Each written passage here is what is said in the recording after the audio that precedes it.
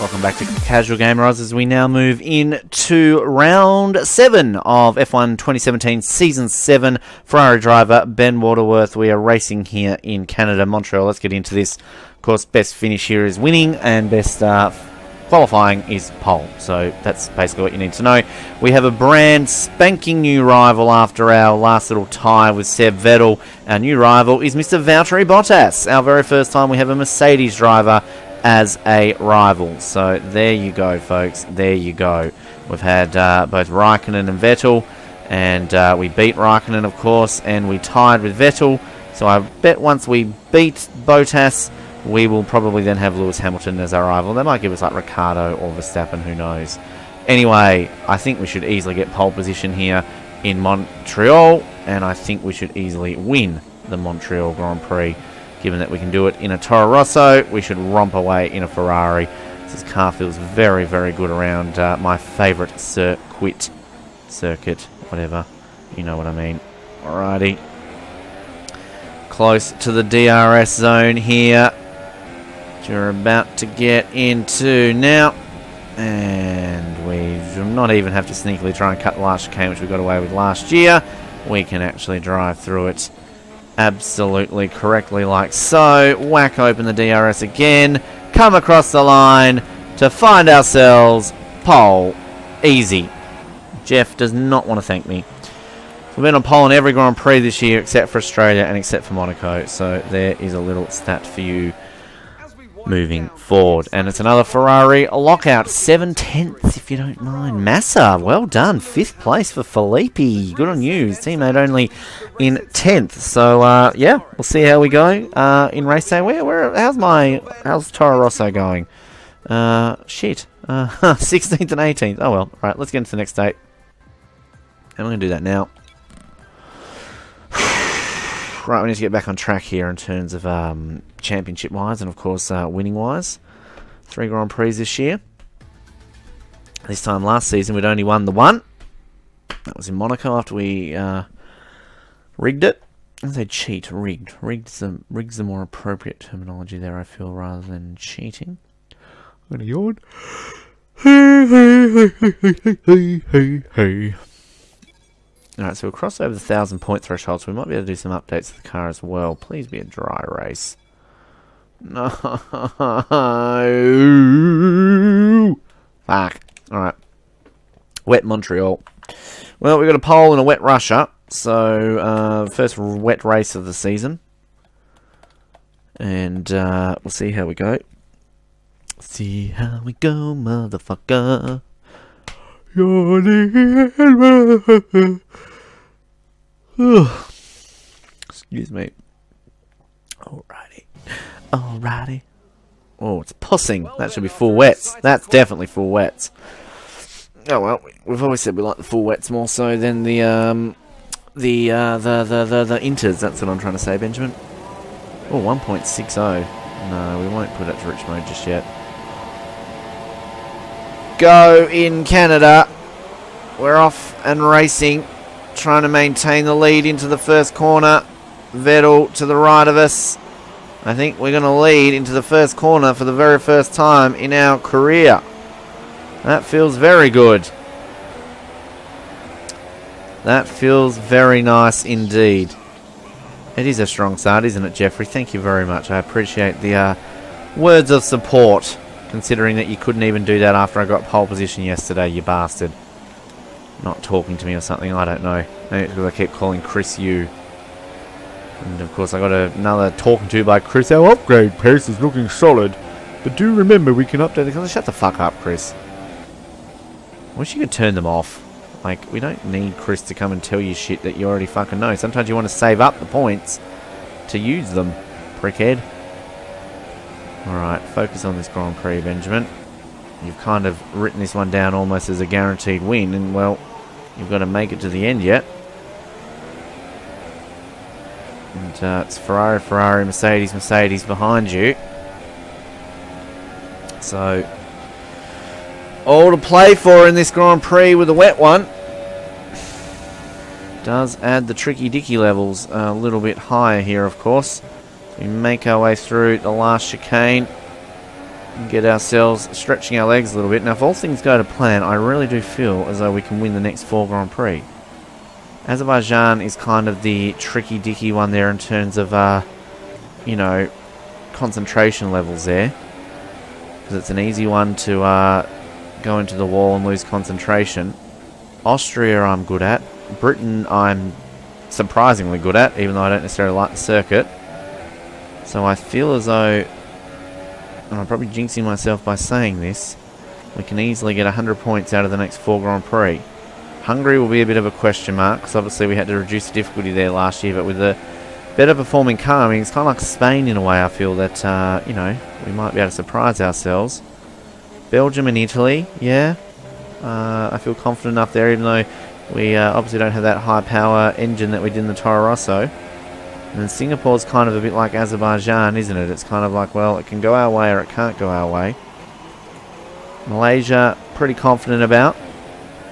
And uh, Japan, well, I was surprisingly good there last year for a car that uh, obviously I had to reduce the difficulty on.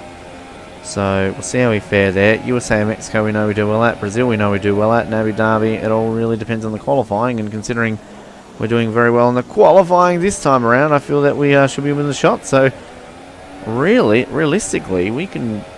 I mean, I'd love to win the remainder of the races this year. That would be fantastic. But, uh, yeah, anyway. Vettel has just taken my fastest lap away, you little bastard. Got to make it to the end of this one first yet, Ben. So, again, you're getting a little bit ahead of yourself at the time being. Just got to keep doing your thing. Doing as best you can with your thing.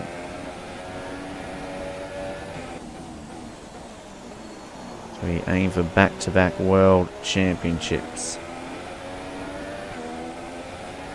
I do feel like I might remain the remaining four seasons at Ferrari, barring, of course, getting fired, of course. I mean, maybe last season we could end out with Mercedes and Red Bull perhaps just to try our luck at another team with the championship. But I definitely feel I like... I've worked so hard to get to Ferrari that uh, I think we might just uh, see it out with them. What do you think? Alright. Get a bit of a slide there. Let's go past my grandstand and down the back straight. And we find ourselves two laps away now from another victory, our fourth of the season. Uh, well, a bit careful there. Make sure we uh, do it all correctly. Yep, good job. Thank you. Oh, Jeffrey.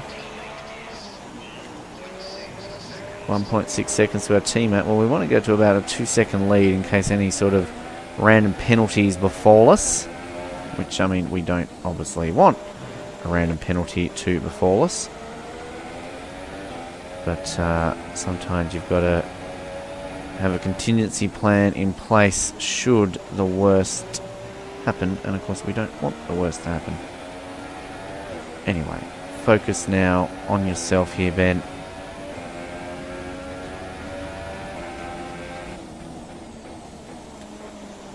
Focus on yourself. Well, sliding around a little bit there.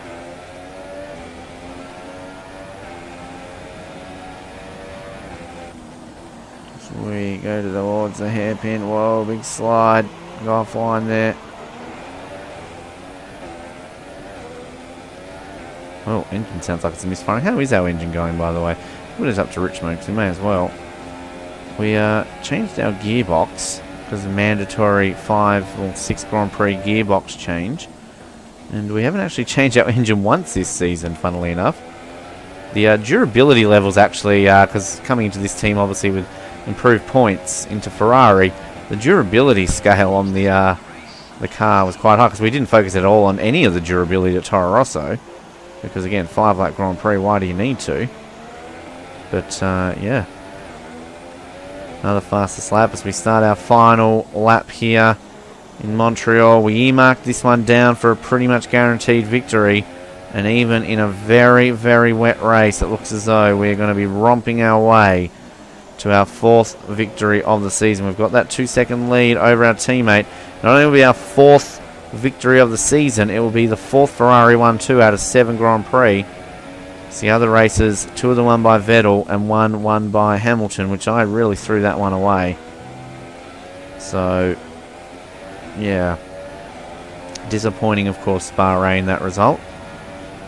It's a race that I lost, I feel. But anyway, we're here in Canada. We're around the hairpin, into the back straight, as we prepare ourselves for victory number four of Season 7 on F1 2017. It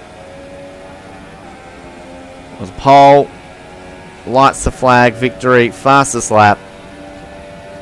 A dominant performance here in Montreal after our disappointing Monaco. If we can hold on to it in the last chicane, we do. Victory in Canada. We are the Canadian King. Cross that line now. Absolutely fantastic. It's a brilliant result. Well done. Thank you, Jeffrey. So uh, bored was I with that win. It seems that my driver didn't even want to pump his fist. But uh, there we go. Back onto the winner's rostrum and uh, definitely one that we will take as Maurizio gets very happy. Oh, that rain's uh, somehow raining inside the shelter there, even though they've got a roof. Go figure. And again, the same celebration. Uh, does, do like people notice that all the drivers celebrate exactly the same way at the end of every race? Do they look and go, "Oh, why do they just celebrate the same every single time? They just get up on top of the car, put their arms out, and that's it." Ocon got ninth, ninth. That's fairly decent, Esteban. There we go. Celebrate good times. Come on. It's a little bit of blurriness on some of the race suit there. The textures, which they did fix. Yes, look how happy I am, the ugly motherfucker. Spraying it everywhere. All over Lewis, all over the camera. And they're going to kiss each other. Yep, not really. Well done. Well done, Chumbly Bum. So, who will be the driver of the day? Well, the top 10 stayed exactly the same. Vandoorne's the only one who moved a, a place in the entire Grand Prix. I'm going to say Stoffel Vandoorne. he was probably one of his best. He's the only one who does it because he's the only one who uh, gained a position. Interesting. Okay. Standings. We moved now within 19 of Seb. Vettel, Bottas, Ricciardo, Verstappen, Perez, Massa, Grosjean, and Ocon constructors. No change there either. 59 points. We move clear ahead. 249 points. So interestingly, I've scored 115 points. Uh, so already nearly the second most I've ever scored in a championship. So let's take a look at our career score, which we should get a little bit of a boost. Obviously, having uh, won and pole and had a fairly dominant performance across the weekend. And we'll see how we fare here. If it wants to load up anytime today. Anytime today would be great, Mr. Snay. Don't know who Mr. Snay is, but anyway.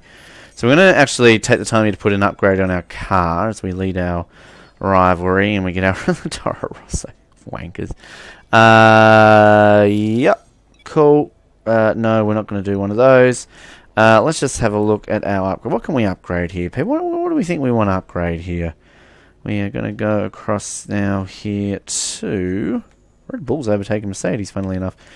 Not the durability. So powertrain's a 10 out of 15, 12 out of 21, 15 out of 26. Um, how's the overall? Overall, our chassis is ahead, so that's fine. Overall, our aero's ahead.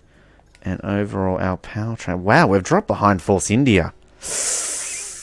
Ooh, we need to update our powertrain, I feel. So we can go fuel technology, power, which we can't afford. We can't afford that. We can't afford that. Um, we can't we can't afford anything. We have to wait to twelve hundred. So we will have to wait, sadly, folks, another round. Okay, never mind. Or we can always go the uh, route here. File has the control should be factory chance on your high performance powertrain upgrades. Failing. Total 37%. 4 out of 5. What's up here? Uh, additional enhancement that should 10%. 30% less in total resource points are required to create new high power performance. We did that before in there. We're going to go that route before. Alright, we'll have to wait till next round uh, till we get a bit more there. But anyway, that's been Canada. We're one. We're off to Azerbaijan next. Like, subscribe, comment. Thank you for tuning us in to Casual Gamer Oz, and we'll speak to you in Azerbaijan. Good night.